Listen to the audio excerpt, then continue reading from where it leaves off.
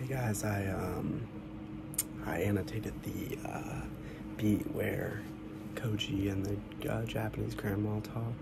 Um, so this could also be, I think, a French scene because like the Japanese grandmother is um it's like a dream. So like the Japanese grandmother enters and exits relatively quickly.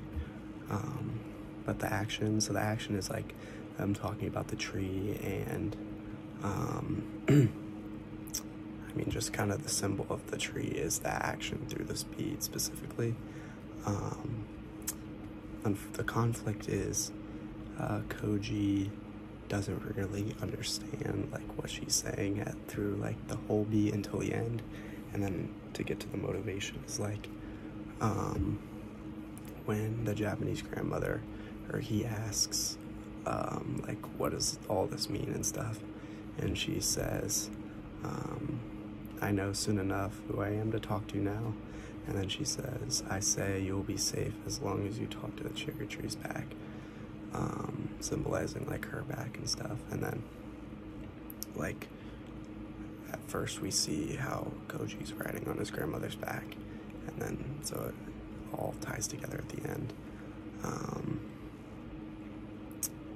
and then um, it's kind of it's significant because um, like the devastation and stuff like the tree is significant because it symbolizes like regrowth and um, like all the trees obviously were destroyed with the bomb and um, that's symbolic. And then koji's since he's the survivor it's just like how the destruction of like um, the land in general, it like all ties in because they're mining all the uranium too, so which then goes to the bomb and it's like a full circle almost. So it was like super, um, just like it connected all the way around, it seemed like through this beat. Um, and that's why I picked to annotate it.